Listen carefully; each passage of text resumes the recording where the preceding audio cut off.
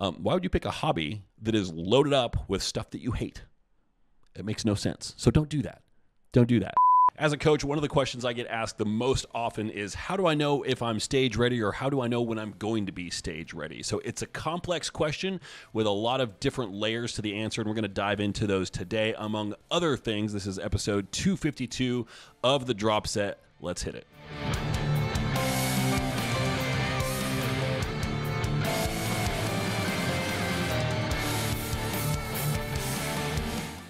What's up, everybody? Darin Starr here, full time coach, coming at you with episode 252 of The Drop Set. If you are watching on YouTube, Hi, everybody. This is a podcast. This is a long form video, minimal editing, nothing too fancy going on here. Just some good discussion about topics that I think are relevant, questions that get asked me all the time. Different from the other YouTube stuff on this channel. If you're listening to the audio only version on any podcast platform that you can find this on, welcome. We are now on Amazon Podcasts as well. It only took eight years Good Lord. But it happened. Um, and all it took was an email and filling out a form. I didn't even know I wasn't on Amazon Podcasts, honestly, but uh, I figured it out. So there we go. News of the week. Here we go. This is exciting. This was a big step. I did not take this step lightly. I am now on Instagram as at the Drop Set Podcast. So, for any social media related to this show, at the Drop Set Podcast on Instagram is the place to go. So, um, what that means is now there is a special account for that. So, if you have questions, if you have videos that you want to send in, if you have audio notes that you want to send in, message me through there. I'll play those videos, I'll, I'll play those audio notes here, and we'll tackle questions that way. So, follow me on Instagram at the Drop Set Podcast. That's going to be the home for everything related to this show going forward. We'll do some excerpts. Um, and some behind the scenes stuff as well. So looking to get that going here. I've got a little bit of stuff up there already. Um, I'm always uh, a little wary of adding another social media account to manage, but I'm really trying to do something with this podcast now. So, um, felt, I felt like it was time, and it kind of separates it out from my own stuff, which will be still at Darin underscore star. Which now there's going to be a lot more prep stuff. I was really kind of struggling, like how do I manage that with all the podcast stuff, which is what I've been posting on there lately more than anything else. So I'm going to separate the two. So that's the big news for the week. Um, also coming up, um, just a little self promotional here. Um, my hypertrophy university course will be coming soon. Um, I'm kind of have that set tentatively for a June 1st release date. It might actually come sooner than that. This is basically a classroom course, 16 chapters long, everything that you want to know about building muscle, uh, how to do it um, things that people do wrong, common mistakes, mindset approaches, practical approaches. Um, there's a deep dive on progressive overload. I do some case studies and some log breakdowns, all kinds of stuff. It's super in depth. That will be a part of other courses that I put out in the future, including Bikini Blueprint, which I've talked about here. There is also going to be a men's physique blueprint, um, and that Hypertrophy University will be an element of both of those courses as well. So you can check that all out at five star digital com. That's F I V E, star with two R's, digital.com. That site is now live and close enough to being ready for public consumption that I wouldn't be too embarrassed if anybody went there and checked it out. Now, to the episode at hand, shall we? That was a lot of rigmarole at the start. So, this is episode 250, whatever it is, 252. Yeah, okay. So, here we go. Um, inside the episode, we are going to have, oh my goodness some listener questions. We got a voicemail here, and uh, I don't know what's in it. I know who it's from, and because. Uh, uh, the call in number, if we still want to do that, is 865 518 6569. You can always call in and leave your questions there. Um, as spoiler alert, as Grace did here. So I get a transcript of that in my Google voicemail box. I don't read it. Like I read it enough to know that it was her. I didn't read the rest of it. So I don't know what's in it. So you're going to listen to it with me here for the first time in a little bit. Um, also, uh, before we get to that,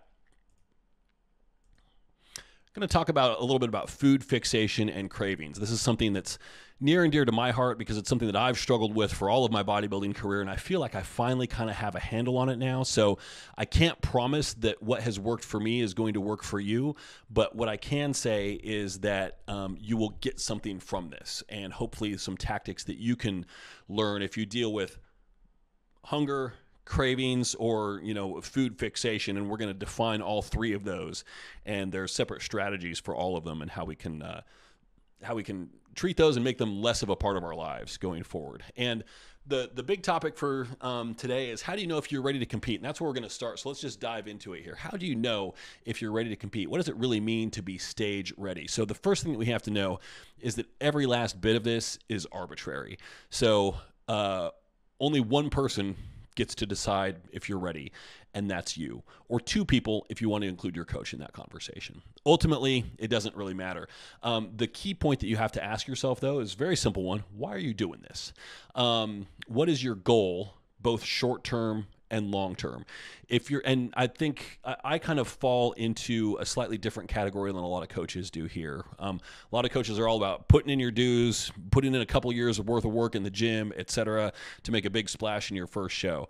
Well, my whole thing there is you're not going to make a big splash in your first show likely just because it's going to be so fucking weird like eh, you're gonna have you're gonna be a deer in the headlights no matter how ready you are just because it's such a weird experience getting up on stage for the first time. So i'm a big fan of ripping the band-aid off and doing that as early as possible. Um, that stage experience is super super valuable. Um, there's just so much value in doing an early show. The stage experience is part of it. You get the experience of going through an entire prep. Um, you also establish a baseline for future shows. So you can say, okay, cool. And clearly, I'm not saying like, oh, I signed up with my coach. In four weeks, I'm going to do a show. But I'm saying like, you know, start the process and maybe spend eight to 10 months getting ready for that first show. You know, if you have the opportunity to get a little bit of a growth phase and then jump into a full length prep, that is what I would consider rushing it. Um, if somebody signs up with me and they're like, I want to do a show in eight weeks, I'm like, man, if you aren't already signed up for it, we're not doing that. like it's a terrible idea. And so I have a lot of conversations with people just telling them up front, like, this is a bad idea. I'm not telling you you can't do it because I'm not one of those coaches where it's like, you know, it's my name that's going up there too. I'm like, this is all you. You know, I mean, yeah, I'm coaching you and I'm helping you, and whatever you accomplish, I'm going to be proud of you for doing it. But you know, I don't have an ego in this process. I'm not looking out for myself in this. I'm looking out for you. So I don't care. If somebody wants to get up on stage before they're necessarily ready in the eyes of the masses, I don't care. As long as you know what you're getting into and why you're going about it and why you're doing it. So, um, so you establish that baseline of prep. Um, you get an opportunity to meet a lot of people um, and making connections in this is huge. You know going back uh, i think it was two episodes ago i talked about you know what i would do differently in bodybuilding if i was starting over from scratch. And one of those things is i would meet more people and make more networking connections. So um, doing more shows is a great opportunity for to do that. You also get the opportunity to make some mistakes which is great because uh, a make a mistake that you make now is a mistake that you can avoid making down the road which is hugely valuable. Um, and the mantra that i always like to fall back on not just with this but with pretty much everything in life is take imperfect action. What that means is you don't have to wait for everything to be perfect before you just decide you're going to fucking do something. Like, yes, you could spend five years building muscle and getting ready for your first show, but how much opportunity did you miss out on before doing that? This is something that comes up a lot in business. Oh, I'm going to start this business, but I need to do this first. I need to do this first. I need to do this first before I can take on a client. Just get a fucking client. That's it. Just put in the work and, you know, uh, flounder for a little bit. Maybe you fail spectacularly. Maybe you're moderately successful, but you're learning something in the process either way. So, you know, there are no lives at stake here, right? So it's not like this is something that you need to be terrified of. Just do it. Just absolutely do it. Going back, though, talking about why are you doing this? What's your goal? Um, if somebody had the goal of like, I want, and, and this is it's a good thing to know. I don't know how much it really influences my recommendation on whether somebody do a show sooner or later. Because if their goal was like, well, I want to, I want to earn my pro card, and I want to compete as a pro for a long time. Okay, we're going to have a talk about you know assessing your genetic potential. Um, we're going to look at your overall training age see how much of that potential you may already have realized. Want to compete as a pro at what level? Like are you looking to compete as an ocb or an nga pro? Or are you looking to be an ifbb pro? Um, if it's the latter what's your attitude towards peds if it's a category that would benefit um, greatly from those? Um, and so there's a lot of conversation that you have to have there. But you know if your goal is to be a pro then i mean I think the goal, I think my goal for you would be to, great, let's experience a full prep first because first of all, a lot of people come to me and they they come to me with that goal of I want to be a pro when they've never even done a show. I'm like you don't even know if you're going to like this.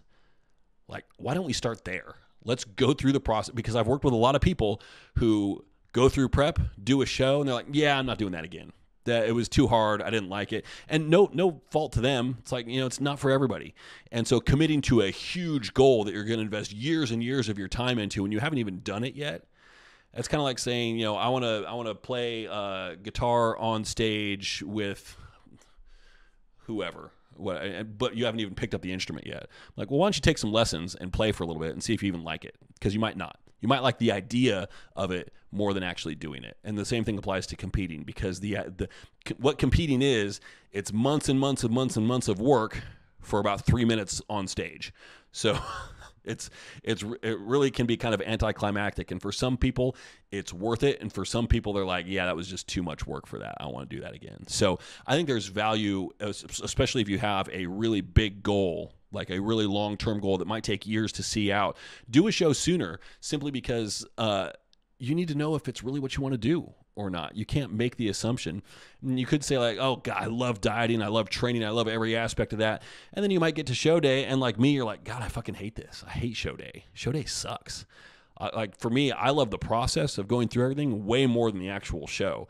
I'm kind of the opposite of most people. Most people kind of suffer through the process, or they tolerate it, or they're okay with it, but they don't really love it. But they love show day. They love the payoff of that. Um, and I'm kind of like the same thing with you know in my band. Like I love practicing songs. I love getting together and doing rehearsal and stuff like that.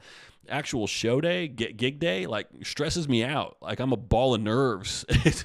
I did this talent show at my wife's school last week, I guess. Um, you know, she's faculty there.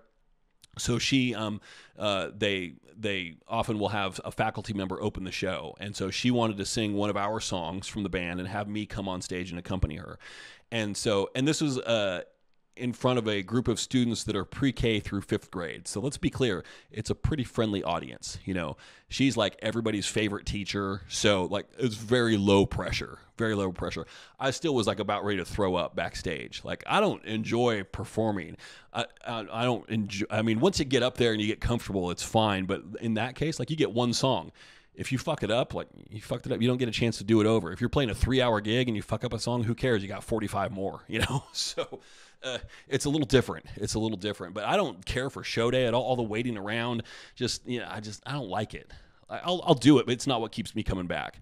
Uh, seeing through um, the process to a completion point is what keeps me coming back. So, um, knowing why you want to do it, if, if it's going to be a one and done for somebody, it's the same kind of thinking. Like, well, if you're only if you know you just want to do this once, it's a bucket list item. You want to cross it off your list. I work with a lot of people who say that.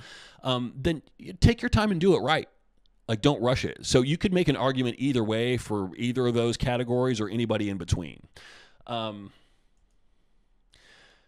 yeah what the, the most common goal for your first show um, th- this is not the one that i hear but this is the one that i want to program into people's heads is uh, to look like you belong up there. That's the important thing. The, the most common goal that i actually hear is i want to win. And it's like yeah it, your first show you're not going to win it unless you're a freak right? Um, it just doesn't happen, or unless it's a super uncompetitive show. But you can't go in there expecting to win your first show. It's pretty unrealistic. And so I will disabuse people of that very early on. And I get a lot of pushback from people, and a lot of people don't end up hiring me as a coach because I tell them like, you're probably not going to win your first show. Like, why would you say that? You're my coach. Like, you're supposed to help me do that. I'm like, yeah, but I can't control who else is up there and you know you're in a, a, group of people and they've all competed 10 times and this is your first show what on earth makes you think that you should win that show like that's delusional. And so I don't want to work with people who are delusional. so like having some confidence is great. And if you could say like I want to be in contention, okay, that's a different statement. That's a, I can get behind that. Or saying I want to look like I belong up there. Yes, everybody should have that as their goal for sure. So you need to consider what organization you're competing in and the standards of that organization. So, um, you know, if you uh, you might look to uh, a lot of uh, pro bodybuilders out there, and they're just huge, and you're like, God, I can't hang with them. But you're a natural athlete. You're not going to compete in the NPC going into the IFBB. You're going to compete in the OCB or the INBA. You know, it's like it's different playing field. So um, you need to have a realistic assessment of where you stand. And to be clear, I could write a book on this lately uh, you can't really evaluate yourself. That's where you need somebody else, a professional eye, to help you out with. Um, you need to be realistic also about your genetics and about the time frame associated with this. Um, so, it, typically, uh, most people are not genetic freaks. let's, be, let's be clear on that. Um, and if you are, you're probably not looking around watching bodybuilding or listening to bodybuilding podcasts like this or reading into like how can I build muscle? Like for you, it's easy because you're a genetic freak. And by the way, like screw you at the same time. So you suck. Um, so you know you got to know your place. Um, and also like there is some. Uh, there's a lot of variability when it comes to the time frame as well. Um, like for me, like I'm very it takes me forever to build muscle, and as it does for most people. I can cut down pretty quickly, but the problem is I usually need to cut down a lot. So while I can cut down at a good rate, I still need a lot of time um, to do it. So what's like my current prep is 22 weeks. I've been in it for 14 weeks. I still have eight to go. I've dropped a lot of weight. I still have a lot more to drop as well. So um, you have to have, be very realistic about the time frame involved, and especially if there's a growth phase or possibly multiple growth phases are needed, like stretch out the clock a little bit for sure. Um, and you also get some experience um, in cutting and growing, and then you can start to see some of what that potential is going to be um, when you get to um, some more extreme levels, even if you don't see it through to a full show. But let's say you like, okay, I'm going to do a prep here and I'm going to try to get to like a six week out aesthetic, but then I need to spend more time growing. I don't want to get up on stage yet. That's totally fair. That's totally fair. We'd call that kind of a mini cut, maybe an extended mini cut, but nonetheless. Um, and then you can start to see like, okay, I can kind of see the potential here of what things might look like if I carried this through for another six weeks. And then you can make a decision at that point as well. Like, okay, well, uh, let's actually do it. Let's commit to it. Let's see it all the way through. Let's do it. Or you can say, like, okay, this glimpse is enough. I know what I need to work on now. Let's focus on fixing it. Um, some additional points to consider here. Um, this is a visual game. You do not want to be chasing numbers unless it is to evaluate your rate of change, or if you do have to hit a weight cap or um, a, target weight class as well. So for me, this prep has largely up until this point been a numbers game. I'm chasing 209. I'm very clearly going to hit that. So now I don't have to worry about that. Now it becomes a visual game. Like what weight do I need to be at in order to have the right look? So I'm still correlating it to a number just because the number is trackable. But at this point, I've been kind of like easing into it. I'm not trying to kill myself um, on anything with regards to my prep. Um, just trying to maintain a rate of loss that keeps me within striking distance of that target. Well, now I'm, I'm clearly like I'm gonna sh- I'm gonna be able to shoot way past it. So now I can start to spend a little bit more time thinking how much do I have to cut down in order to really hit the target aesthetic that I want, um, and it's gonna be way less than 209. So I'm not gonna come in at the cap. That's fine. I'd, I'd really want to, but it doesn't matter. If I come in at 209, I'm gonna be f- the fattest guy on stage, and we don't want that. So. um, this often requires an outside perspective. And so the question of like, how do you know if you're stage ready? It's a very difficult question to answer yourself. But also, um, stage ready for whom and for what? I always tell people like, if you just heard what bodybuilding is today, um, today's Thursday, and you found out that there's a local show on Saturday, um, you're everybody is stage ready. Like you can pay the fee, probably a late fee as well, and go and compete on Saturday if you wanted to. Now, you will not be competitive, more than likely. There's always that genetic freak out there that can just walk off the street with no prep and you know still make a second call out. Like, how the fuck did that happen? Like, that shouldn't happen at all. Um, so, but you can do it. So, stage ready is I'm I'm talking more about competitive stage ready. So, um, you need to evaluate it on two levels. There's a level of muscularity for the category that you want to compete in, um, and then there is a level of conditioning for the category that you want to compete in. So the level of muscularity is something that you can know well in advance. Like, do I have enough muscle for this? Um, you can kind of learn that in the off season, right? Just by you know, you can. It still requires some imagination. You have to imagine yourself as a sculptor with a big hunk of marble, and you're going to cut away all the stuff that isn't your stage ready physique, and you know what's left under that. So it does still require some imagination. Um, but what you can't know necessarily is you know can you achieve the level of conditioning and leanness that you have to? And this is something a lot of people chase over the course of many many many shows like trying to get as lean as they need to be. Many people never really hit the mark having done 15 20 shows. A lot of people still never get there. They're like yeah i was close but i still was not lean enough as lean as i need to be in order to be competitive. So or competitive for for the top spot in order to win that show, uh, or like, yeah, I'm, I'm here, I'm at the nationals, but I'm not lean enough to win. I've got the size, I just don't have the the sharpness to pull it off. So that's one of those things that you can't predict necessarily beforehand. You can make some some estimations, like if you're generally on the softer side, you're probably going to have a hard time cutting down.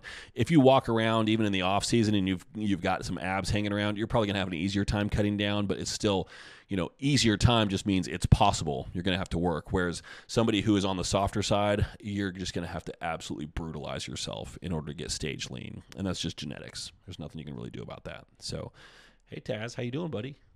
Taz just walked in. He's checking on me. I'm okay. It's all good here, dude.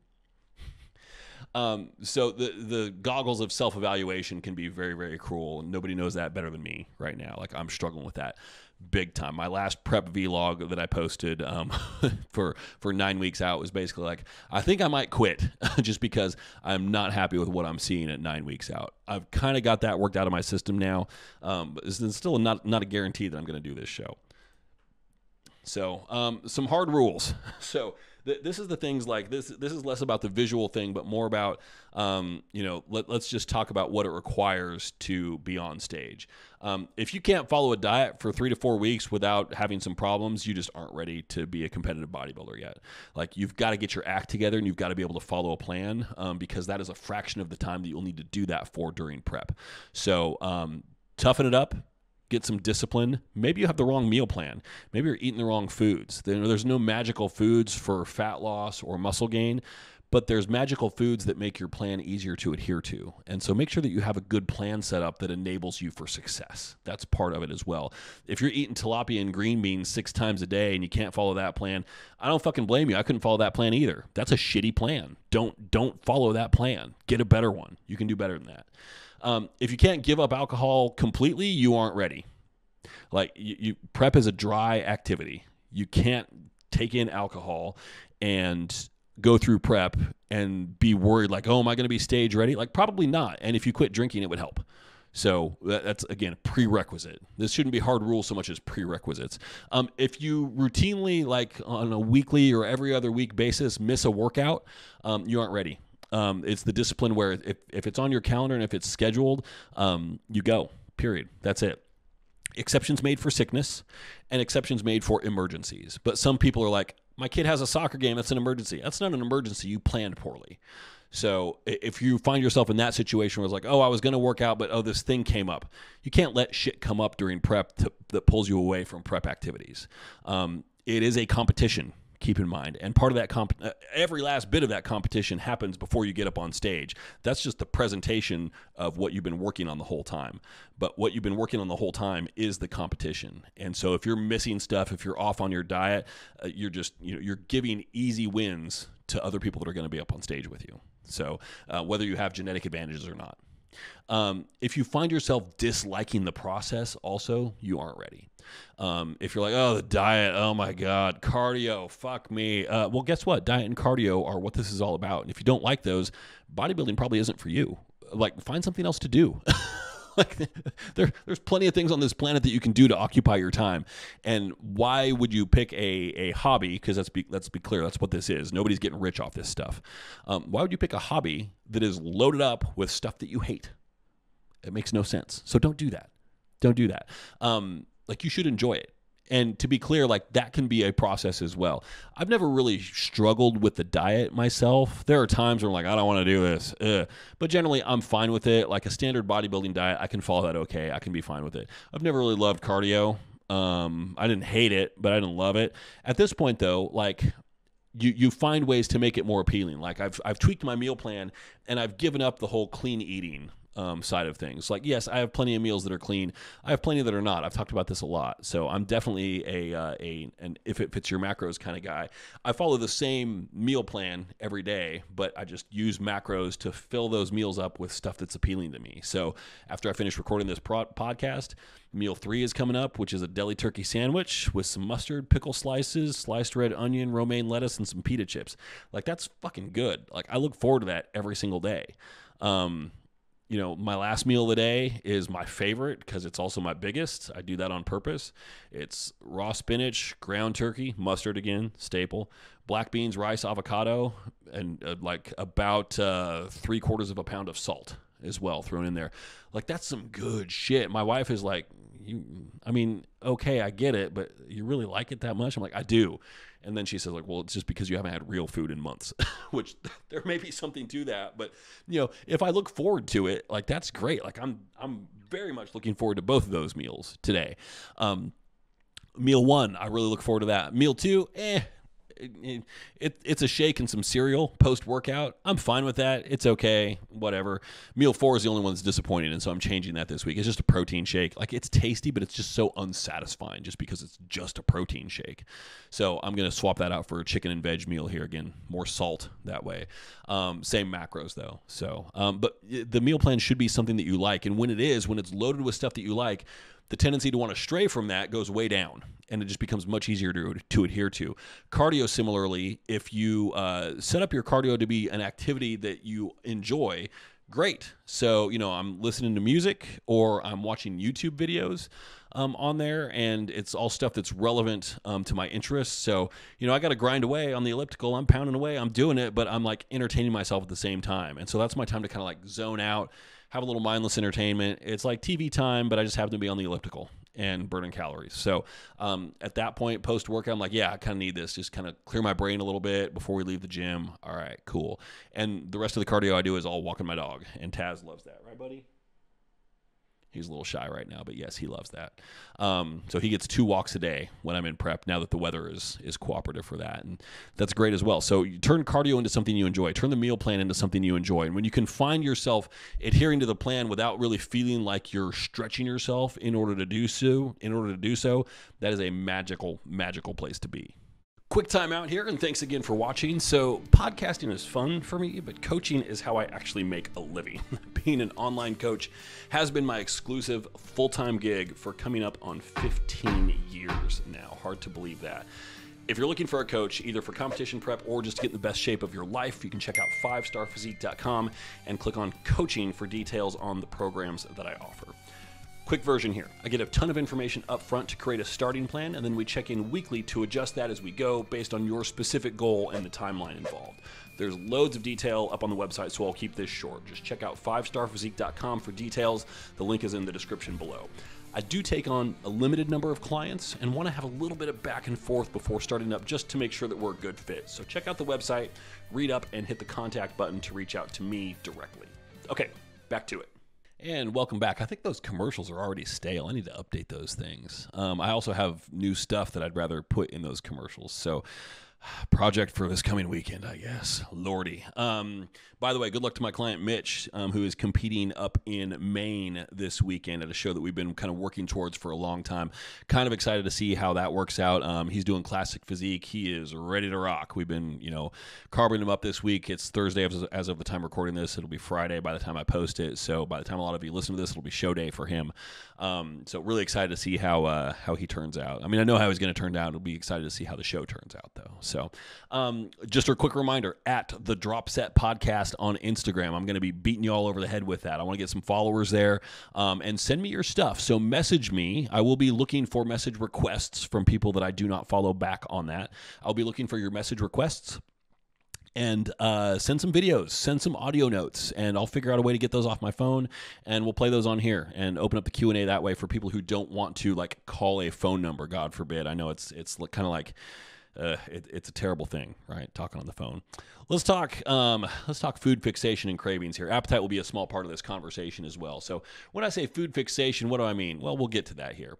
Um, let's differentiate first thing, just a top level definition: appetite and cravings. So hunger your appetite that is a physical thing and that is also like you know if you're hungry you will eat anything that's put in front of you um, cravings are just a brain thing for something specific Example, oh God, I'm so hungry. Here, have a carrot. Oh no, thanks. That's okay. That's a craving for something unspecified. You just don't know what, or you're not saying what. That isn't being hungry.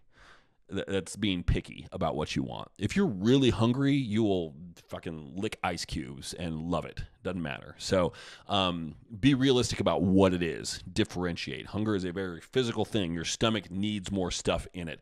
Cravings come from the brain. I want this. And sometimes it can be kind of a general craving, like I want something salty. I want something sweet. I want that donut right now I want that bag of Oreos that's sitting on the cabinet up there right now. Yes, I'm actually pointing to it right now. I, I could see it, but that light's blocking it out. But I know it's up there. I know it's up there. It's been haunting me for months. And uh, I would say they're stale by now, but they probably aren't. Those things keep forever, right? so, um, appetite, we can manage that to an extent. And this is where things start to differentiate a little bit because a craving comes from your brain. You can't necessarily manage that with traditional tactics. So, um, what are some things that we can do to manage your appetite? Well, high volume, high fiber foods. So, um, you know, the, one of the things that I tell people if they start to report like legit hunger, like I'm waking up in the middle of the night hungry. Okay, well, it's not that you need to eat more before you go to bed necessarily that can help but also if you just fill yourself up more earlier in the day you'll be more satiated when you get to later meals. Those later meals will fill you up more as well. So um, typically like slow GI emptying foods. That's where the high fiber comes from.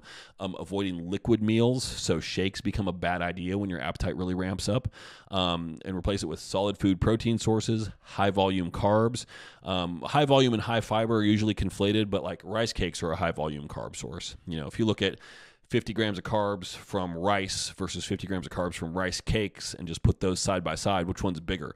Well, the bigger one's going to sit in your gut a little bit longer, right? It takes you more time to process that. It's more to eat. The act of eating is uh, is um, satiating in and of itself, so you can always just eat slower. Take your time with it. Um, that's helpful. And so if it's higher volume, you kind of have to take your time with it. Um, consider more or fewer meals. If you're eating four meals a day, I wouldn't go to three, but you could try five. If you're at five or six, try four or five. You know, try and decrease because if you do that, your meals can be larger. That might be the answer. Um, I have really kind of settled in on five meals per day as being the sweet spot for me. More than that, and I have to stop too many times to eat. Less than that, and my gaps between meals are too long. So five is really kind of the sweet spot for me. Figure out where your sweet spot is. Um, consider carb or calorie cycling to match your output levels is a very common prep tactic. You know on your higher output days you have higher carbs. On your lower output days you have lower carbs. And you could break it up further and do a three phase carb cycle where you have low medium and high days. That's what i'm doing right now. My leg days high intake. Other training days lower intake. Rest days lowest intake. Um, so you don't want to encourage yourself to be really lazy on the low days but Nothing requires carbs, energy, and drives fatigue quite like training. And so on your non training days, you can get away with fewer carbs. Absolutely. So that is just a common tactic to use. And sometimes you just have to suck it up. Like sometimes it's just ass and balls and you just got to suck it up. So learn to deal with it. That's it. That is sometimes the answer. Once you've done all the other things, if you're still there, it's like, okay, here's the solution.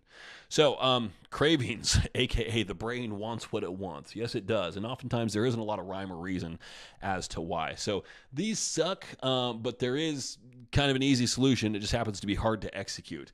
Um, and the solution is think about something else. That's it. Like, keep keep yourself busy. Cravings most commonly come what I have found in my own personal experience they come about during idle time um, because a busy brain just doesn't have time to be thinking about stuff that you want to eat. Um, and so, what I have learned, and I, I, tried the opposite of this in 2021 when I did my last show, um, was I cleared my schedule and did a whole bunch of like big picture items and knocked those things out before prep started so I could just have a more easy time of it. Um, not like I, I, deliberately reduced my client load or anything like that, but I had big projects and I got all those knocked out before starting prep just so I had less to worry about. I could have a little bit more idle time, and it sucked. It, that was not the right idea. So this time around, I am loading myself up on business stuff. So it's not stuff that is physically exhausting me, but it's stuff that's keeping me busy and keeping my hands busy on the keyboard with work stuff. So I'm, I'm building these courses. I'm launching a new um, subset of my business, this five star digital creation, which is where all the courses will sit. Um, I'm coming up with uh, some some freebie giveaway things um, to uh, to help build a mailing list. Um, I'm stepping up my production efforts on the podcast, as you can see here. I'm stepping up production efforts on my YouTube channel overall. Um, there's a lot that I'm doing here, and it's keeping me super busy. I have long days. It's not physically exhausting, it's mentally exhausting for sure. But uh, also, I find myself like, oh shit, I got to eat. Oh, God, I'm hungry. Fuck. Like, it, you'd rather be in that position than like, it's 11 o'clock. I'm just sitting here. I got three hours until I can eat again. Hmm fuck my life. Why am I doing this? Bodybuilding sucks. Like, keep yourself busy. Keep yourself busy. Um, that it's so so hugely impactful for having a successful prep.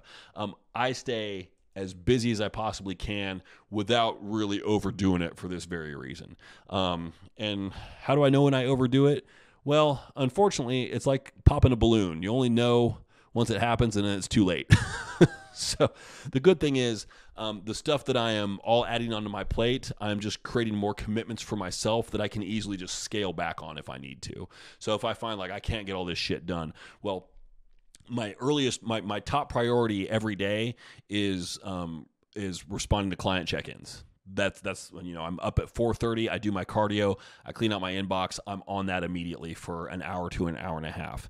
Um, I take a break. I go to the gym. I come back and try to finish up as much of that stuff as I can, and I save a little bit for around seven o'clock, just in case there's any stragglers who are late, which there always are. Um, so like that's the top priority for me all the other stuff has to happen in the middle. Um, and so the other stuff, if something you know gets delayed or doesn't happen, it's like that's okay. We can push it off to the next day. I don't want to do that just because I am really like particular about keeping up with my calendar. But I'm loading myself up with things that I feel I can do, or if I don't, it's okay to push them back for a day. So the stuff that I'm um, that other people are relying on me to do, to do those are top priority, and th- those are like my one A level tasks. Everything else is two A level at best. So. Um, some extra strategies that you can use here. So, commercial free television. Um, so, streaming services. Um, Amazon now makes you pay extra for commercial free Prime TV, which sucks. Um, YouTube Premium is great. I don't get ads on YouTube. I watch more YouTube than anything else these days. YouTube Premium is like $11 a month. Totally worth it to never see an ad on a YouTube video. It's awesome. The reason why I say commercial free TV is because You've got these ads for pizzas, burgers, cookies, donuts, bullshit that come up. That's the last thing I need to see during prep. Like, I feel like I'm pretty focused, but if I bombard myself with enough of that shit, it's going to start to worm its way into my head. And so I just don't let it in there to begin with. Um, similarly, like, I'm not watching Food Network or anything like that. It's like, it's a terrible idea. So, and a lot of people, they like browse food, Pinterest things during prep just so they can at least look at the stuff they can't eat. I mean, I get that some people make that work. I just think it's a terrible idea. And I think if you don't know, you're playing with fire. Um, limit your social media exposure. Um, so you will see a lot of shit that you can't have there. Um, also, like if you're in prep, the comparison game always comes up like, oh, I don't look like that person. Oh, shit. You know, so, you know, social media does more negative for us than positive, And I think more and more people are coming around to that. Um, that uh, realization here. So follow at the Drop Set Podcast on Instagram and send me your notes and uh, messages and videos, please. Um, I mean, it can be a good thing. Um, but this utopic vision of it is like it's bringing everybody together. It kind of divides us more than anything else. So I'm I'm generally not a fan. I use it for business stuff. I'm really not on it much outside of that. Communicate with people here and there. That's about it. I try to consume and scroll as little as I can, realistically. So, um, you still want to focus on high volume foods um, just because even though that's more of an appetite strategy if your brain is constantly like you know it's spending more time and your stomach is spending more time processing food um, that gives less of a reason for your brain to really get involved in the game when we don't want it involved in this game at all we want it to shut up and sit on the sidelines some uh, some additional strategies, some other things that we can do here. Enjoy your food. We talked about this before. Your meal plan should be something that you enjoy. If it's not, you gotta change it eat slower. We talked about that as well. Use a smaller plate or a bowl, smaller utensils because it makes your food look bigger. And that visual thing is a big deal. Um, I don't think this made it onto the list. I wrote it a couple days ago, but one thing that just came to mind is um, prepare multi-course meals. So, um, you know, I for my last meal I have, I, I mentioned it was uh, spinach, ground turkey, black beans, rice, avocado. Um, also on there is a piece of toast.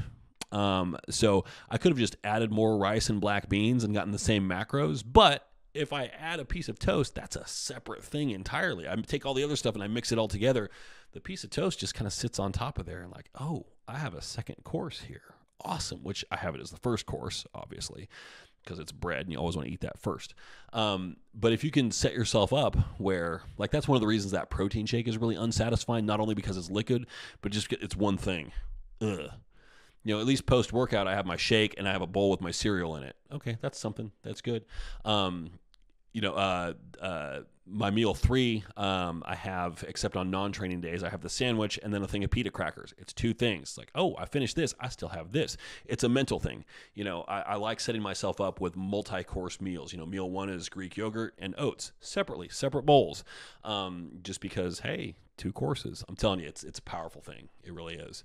Um, be engaged and mindful as you eat. Don't eat mindlessly. Um, like I'm really terrible about just watching TV as I eat, which is kind of mindless. But I've been trying to engage more on keeping that slower and making sure that I enjoy it as I go through the process. Because if you take the time to really like enjoy your food as you're eating it, not just having stuff that you enjoy, but being mindful and enjoying it as you go through it, it makes it last longer. It feels more substantial that way too.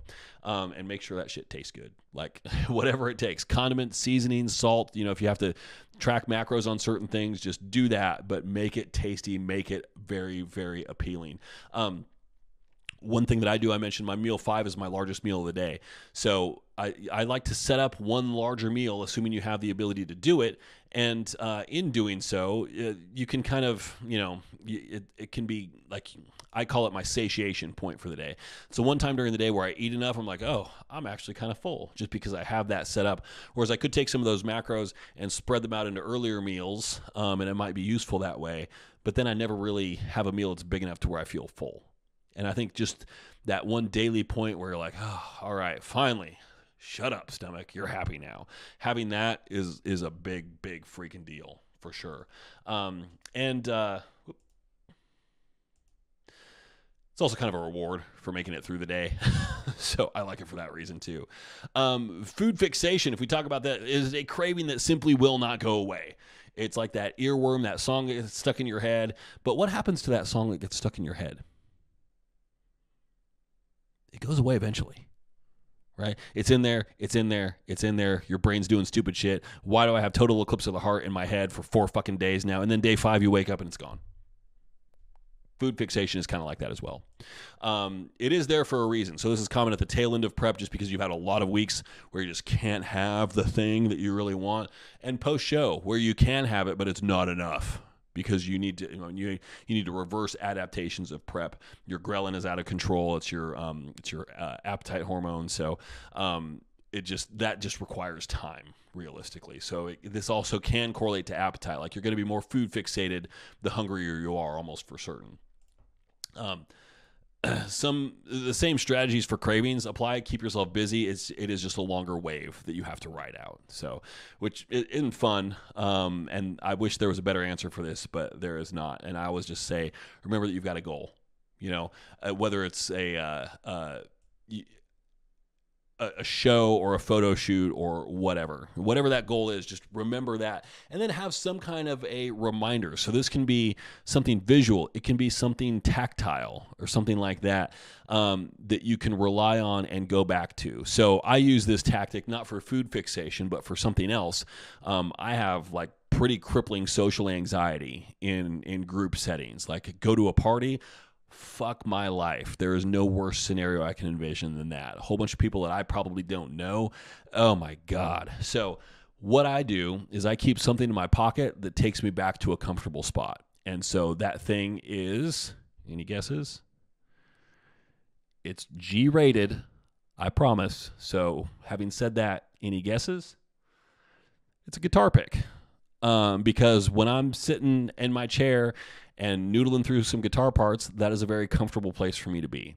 I am certainly not a great guitarist by any stretch of the imagination, but that takes me into a place where my brain is happy and I'm cool and I'm chill. And so I've got that in my pocket and just, you know, having that tactile thing in there takes me back to a place of comfort and then suddenly the anxiety is it doesn't go away, but it's easier to deal with. It lessens it a little bit. So having some kind of a tactile reminder of what your goal is can be anything you know just be creative with what that is. Um, as a reminder like okay yeah that's why i'm doing this. It's not just like you know for some people it's like putting something on the lock screen of their phone. That's good as well. Um, you know everybody responds to things differently. So whether it's a mantra that you repeat it's something that you look at it's something that you can actually touch in your hands having something like that can really help to kind of reset your brain and pull it out of that mode when it's just stuck in this infinite feedback loop Hey, everybody, I hope you're enjoying this episode. Just wanted to take a quick time out to tell you about a promotion I have going on now for my workout programs at 5starphysique.com. I have around 50 uh, programs available as of right now. These are comprehensive workout splits for all people, goals, and phases. You can search by volume, general difficulty level, even the number of supersets involved so you don't end up with something that you can't properly execute because your gym is just too damn busy when you go to train. All of these programs do include full video demonstration playlists for each day, narrated by yours truly, so you know exactly what to focus on and what to watch out for on every move. These are ideal for all skill levels. You can use the promo code DROPSET, one word, at checkout to save 10 bucks on your first program. Link is in the description below, or check out 5starphysique.com and click on workout programs. Okay, let's get back to it. Okay, y'all, you ready for this? Remember, um, at the Drop Set Podcast on Instagram. Follow me. Yeah. Let's do this. So we have a voicemail here. Um, I have not heard it yet. Um, I have it up on the screen over here. It's ready to play. I'm not going to show you just because, well, if I do, here, it looks like this. It's my media player. Not very exciting, right? So, um, here's what I, I, have. I think um, I, I, just had it playing. I don't have my headphones on, so I couldn't hear it. But it looked like it was registering the audio, so I think it's all good here. And if it's not, for some reason, I will just drop it in in post production. We're going to do it that way. So um, I know this is Grace. Thank you, Grace, for calling, and we're going to check it out and see what we got. So hold on. Uh, here we go. I have my uh, incorrect. I have my laptop here. I might need to take some notes just because oftentimes Grace likes to hit me with more than one question at a time, and I need to take some notes to make sure that I don't forget shit. So, um, all right, Grace take it away. Let's see what you got. Questions for you today. Oh so God, I'm hold on, back it up. Hey, Coach, it's Grace here. I have a few questions for you today, so I'm just going to jump right in. Please. My first question is How do you address physique imbalances in your programming? How do you manipulate a client's nutrition and workout split to address any dominances or weaknesses in their physique? My second question is at what point does someone need to worry about atrophy or loss of progress?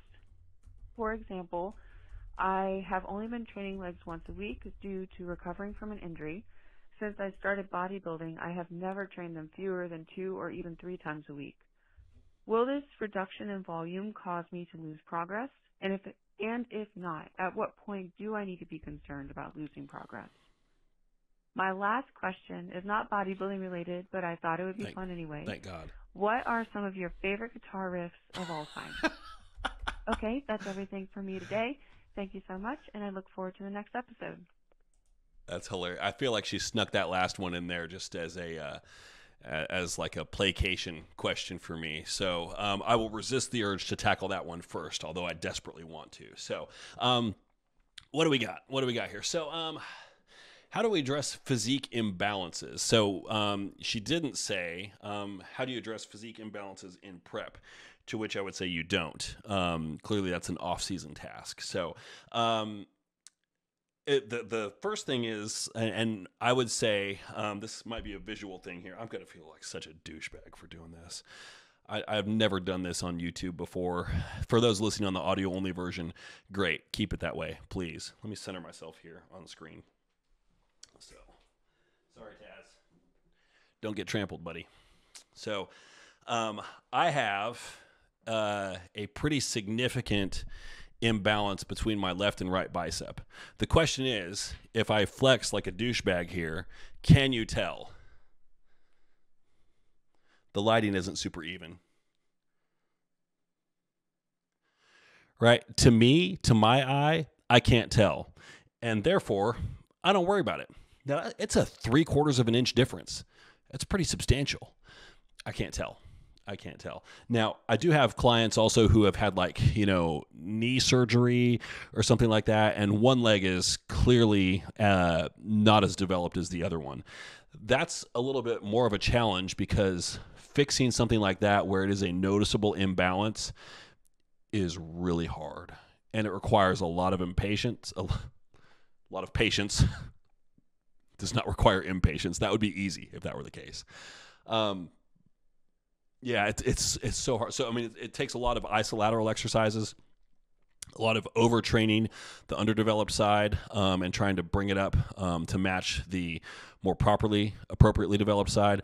Bilateral exercises work too. You just need to be mindful of the likelihood that your dominant side is going to want to take over, and therefore it is going to get stronger still and still outpace the weaker side. So, um, it, it's very very tricky if it's something noticeable like that if it's not noticeable because um, i've i've had people you know come to me with situations like that my my arm is a half inch bigger than the other one all right show me and honestly, if I can't see it, my answer is don't fucking worry about it. Just because fixing it is such a giant pain in the ass. And there might come to be a point like in your competitive career where that becomes a, a detriment to you on stage. It's not going to be in your first couple of shows, more than likely. Um, and again, you need to be you need to keep a watchful eye on it, but it's unlikely that anybody's going to be like, oh, you know, you would have been first, except you know your your left delt it can be you know it, it's not matched up to your right. Oftentimes, this stuff can be corrected with posing as well. Oftentimes, actually, imbalances like that are because of posing. And if you just fix it and show yourself correctly, then the problem is solved. So, um, I know Grace is also working through an engagement imbalance right now um, between left and right, specifically when it comes to lats. Like lats are just tricky for her to engage on, I don't remember which side, but one of them. Um, and so uh, that is a tricky one because how do we address that? Like she's doing all the right things where you know you focus on a lot of isolateral exercises one side at a time, focus on really slowing the tempo down. Um, one thing that I've asked her to do is like think about what specifically like is there a specific part of the range of motion where your good side feels more engaged and why. Because sometimes it's a mechanical thing that you're doing and it's a really subtle thing to watch. Like you know if you're doing a row on one side your elbow wings out a little bit and on the other side it doesn't. Like it's hard to catch that kind of stuff. But there can be just a difference in something maybe because of some old previous injury that happened when you were four that you don't even remember but now your left side and your right side don't act exactly the same. And so therefore one side has a more difficult time engaging than the other one. Um, that is a very tricky thing. Um, as far as fixing imbalances like aesthetic imbalances it really falls into you know is it something that's significant enough that we need to fix it? And if not great let's just ignore it. Um, as far as that feels like a lazy answer but at the same time it's like there's so much other shit to do. It's like, at what at what point does it become a big enough priority that we need to focus on it? And at what point are there like, you know what, there's so much more shit that we need to do. We just need everything to grow. I'm not worried about this imbalance. Let's just make everything bigger right now and just focus on making sure that we're not making the problem worse by having an imbalanced um, execution on bilateral exercises. Um, at what point do you worry about atrophy or loss of progress? So um, keep in mind, like your minimum effective volume to maintain tissue is like eight sets per week. So if you're doing one leg day, uh, your legs, I mean, they might grow still, not as well as if you're training them two or with a really good three session split that's designed with recovery in mind as well. Um, but with one leg day a week, you're absolutely maintaining tissue. You know, um, if you're training legs four sets per week, that's when you're like, yeah, you're probably you're probably dropping some a little bit for sure. Um, it also depends with legs. Like, okay, well, are you working them really hard outside of training? Like, are you doing a lot of running? Because running is not hypertrophic for legs. Um, are you operating at a caloric deficit? Are you sick? Um, you know, are you burning through a fever? Fevers will burn through tissue. Um, if you're under eating, like that's a perfect recipe for atrophy, along with not training. But also, like, it takes time it takes time on the order of many many weeks. Um, it's not something where oh i don't train this for two weeks it's going to atrophy. No it's a slower process than that just like building muscle is a slower process as well. Your gains are not as as um, fragile as you might think that they are um, so I wouldn't I wouldn't worry about it. I mean, Grace, in your specific issue, I really wouldn't worry about it. Um, and also, I know like the the injury has been hip related, and that's feeling better now. So we're progressing back into two leg days a week. So um, it helps to have inside information for for answering some of these questions. So uh, that's a good one though. And I've worked with other clients who you know have to miss time due to injury or whatever. It's always a big concern the thing is like and we talked about this in the sickness chat last week you have to differentiate between glycogen depletion and feeling flat and atrophy because they feel like the same thing uh, but they're very different because one of them is very temporary and as soon as you get back in the gym and you feed yourself like oh there it is. With atrophy ha- it takes time to build it back up although muscle memory is a thing and can help get you back to where you want to be. Um, as far as favorite guitar riffs okay how I don't know how how far we are into the episode here, but I figure there's probably another 25 minutes left from here. So uh, let's go. Um, I would start with anything by Tool. First of all, Adam Jones is a riff monster, and the thing is, like every Tool song is in drop D. It like it's all in the same tuning, it's all in the same key, and yet he just continues to amaze. It's crazy. Um, Mark Tremonti is a great riff monster as well of Alter Bridge, formerly of Creed. also the guitarist for Creed. Uh, I'm not a big fan of Creed. Alter Bridge I love, and it's the same band just with a different singer. It's amazing what a difference a lack of Scott Stapp will do for a band. Uh, I, I think he's great as well. Myles Kennedy, the other singer in that band, is is also a great guitarist by his own right. Tremonti, I think, is usually the writer when it comes to the riffs. He's got some great ones.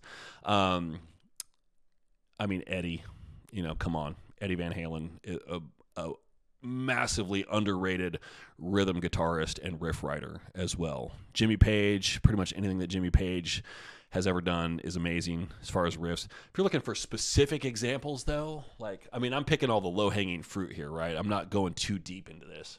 Um, John Petrucci is a great riff master of Dream Theater. Um, something like uh, uh, the Dream Theater song "As I Am" has got like the, one of the heaviest opening riffs of all time. Got Dimebag Darrell, "Hello." I mean, uh, there there is no song on earth that's going to make me flip out and lose my shit completely like Cowboys from Hell by Pantera. Um, like that that is the song. It's like I'm clearly I'm not a headbanger, but that is the one song that makes me wish that I would grow out my hair long just so I could absolutely thrash around and give myself a concussion and fucking kill myself in a mosh pit. Like if I had the opportunity to do that with the revived version of Pantera that's that's hanging around now with Charlie Benante and Zakk Wylde um, and Rex and Phil, like uh, Cowboys from Hell, I would lose my shit. I would not be able to contain myself. Um, that would be quite a sight, right? Because I'm I'm usually pretty reserved and chill. What else? Um, I know I can edit out dead space here, but I'd rather not. I'd rather make it easier for myself in the editing booth. Um, are there any other major? I mean, as soon as I as soon as I stop this, I'm going to think of a billion other um, guitarists. I'm like, oh, how did I not mention you know, blah Joe Satriani, for example? Um, oh, and there, there's a whole bunch of one-offs out there as well. Um, like there, there's there's some of those songs that you know a band might not have a whole bunch of like great riffs, but they've got one, and none of those are coming to mind right now. I'm gonna have to follow up. Like this is gonna have to be a follow-up impact segment after I have a chance to do some research. So that's my commitment to you, because Grace, that's an awesome question. These are the kind of hard quitting, hard hitting questions that I want here on the drop set. So. Um, so we're gonna we're gonna wrap it up there. I don't know how long this episode is. This segment has been 12 minutes and 16 seconds by the looks of it. So, um, Grace, I thank you for contributing to that. Other people um, at the Drop Set Podcast on Instagram, shoot me a DM over there. I will look in the requests. Um, hit me up with a question. Hit me up with a video. Hit me up with a voice message if you want to. All that stuff, I'll play it on here. We'll talk about it going forward other than that, I just thank you all for listening. Seriously, like if you made it to this point in the episode, it's fair for me to say like you're my favorite people. Thank you because you just listened to the whole thing, and that is uncommon uncommon special request also i've mentioned this before about um, reviews um, leave ratings online my itunes account my apple podcasts account for the drop set looks like it got reset due to a a configuration error that I think was my mistake. So now it looks like it has one review and that's it, which is a catastrophe um, as far as trying to grow the show. So um, if you're listening to this, please, please, please go and leave a review on Apple Podcasts. If you listen there, it will help me out tremendously. I would really, really love that. So I'm not ready to yet pay for people to leave those reviews. Um, but if you wait another couple weeks, I might. No, probably not. But anyway, thank you all for listening. I appreciate it. We'll peace out for right now. We'll be back for 253 next week. Okay, that wraps up another episode, and thank you all so much for watching. If you like this episode, please share it on social media and tag me on Instagram. I am at Darin underscore star. Also, please subscribe to the channel here if you haven't already, and feel free to check out any of those other videos that you see here as well. 5starphysique.com has details on everything that I have to offer, including contest prep coaching, body transformation coaching, workout programs, swag, and a whole lot more. Thanks again for listening, and I will catch y'all back here next week.